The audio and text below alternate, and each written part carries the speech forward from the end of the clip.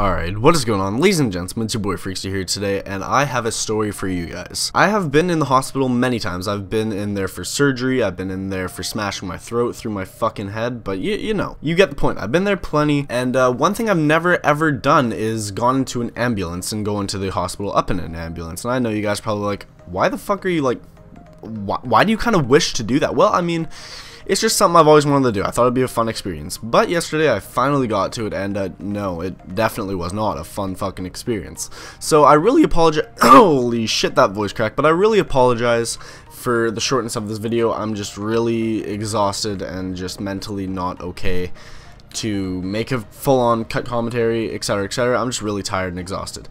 But yesterday I uh, I took my medication, and before I used to take Cipralex, 20 milligrams, but I ended up getting switched over to this other green bullshit pill, and uh, I took five, and it's never affected me in any bad way. It's always been alright. But then one I took yesterday, I took it at about 1 o'clock, and then by 1.15, I was on the ground. And I didn't know what the fuck was happening. I felt just nauseous, dizzy, sick, disoriented. I couldn't like find myself. I didn't understand where what was going on. I didn't understand anything.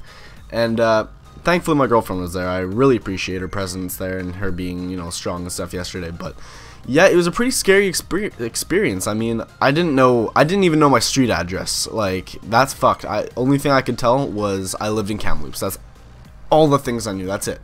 So uh, yesterday we ended up, you know, hanging out and stuff like that, and I'm like, I was really disoriented. She saw that. I felt sick and all that, and she's like, are you good? And I was like, I, I don't know. I, I don't know what's going on. What's going on, Megan? What is going on? And I just, I had no idea of anything going on around me. And I got my name, but it took me a good at least 10 minutes to actually remember it. Like, it, it was really fucked up.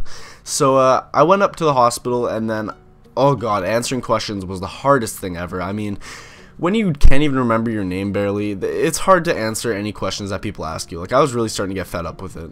So then, the medication started giving me a bunch of side effects because obviously I was having some sort of weird reaction to it.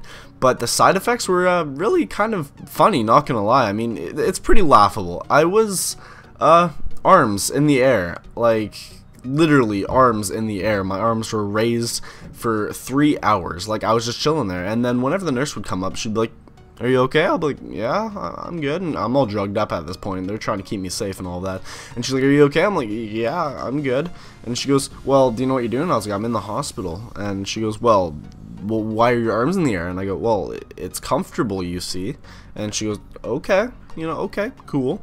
But, uh, yeah, it was really scary. Uh, I'm kind of okay now. I wouldn't say I'm at the best recovery point right now, but I'm definitely better than I was yesterday. Yesterday was scary. I didn't know what was going on. Scared everybody. But uh, yeah, I thought I'd kind of inform you guys. I'm really sorry that this video is not like funny or anything, but that's what happened yesterday and uh, some scary shit. And I just don't have the energy to make a video. I still feel a little dizzy, still a little uneasy, but uh, you know that'll go away in time. But just let you guys know I'm good. I'm safe regular videos will come out tomorrow. I'm maybe going to try my best to make a follow video or something like that. But anyways, in the meantime, I hope you guys have a fantastic day, evening, night. I don't give a shit. Have a fantastic day in general. I'll talk to you all later. Stay positive and peace out.